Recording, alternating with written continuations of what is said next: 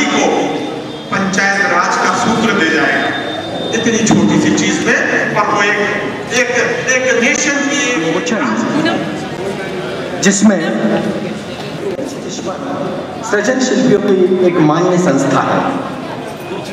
Doctor आदरणीय श्री आनंद कुमार तिवारी जी को कृपया मंच पर आनंद तिवारी जी का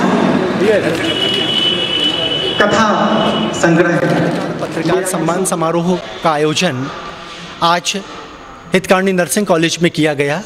ये अत्यंत प्रसन्नता है कि संस्कार धानी की भूमि पर देश के लब्ध प्रतिष्ठित सृजन शिल्पी आज उपस्थित हुए हैं और इन सृजन शिल्पियों को इनकी विभिन्न कृतियों पर लगभग सवा लाख से अधिक की नगद राशि के सम्मान इस मंच से समर्पित किए जा रहे हैं।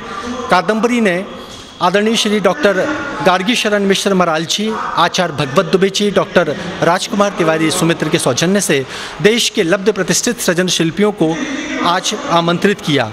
हमें ये प्रसन्नता का विषय है कि डॉक्टर डीपी लोकवानी संस्थापक कुलपति आयुर्विज्ञान महाविद्यालय आज के इस आयोजन के मुख्य अतिथि हैं और इस आयोजन की अध्यक्षता डॉक्टर आनंद सुमन सिंह, जो देहरादून से हमारे बीच में उपस्थित हुए हैं, इन्होंने की।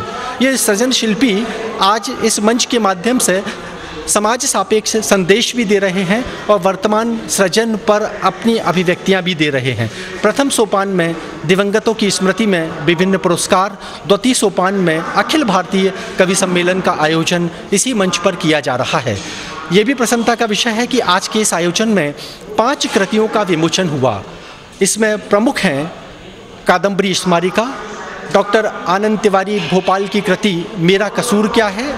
गरीब जनता के अमीर सेवक, आदरणीय डॉक्टर गार्गी शरण मिश्र मराल की कृति और इसके साथ तीन अन्य कृतियों का भी विमोचन इसी मंच पर हुआ है।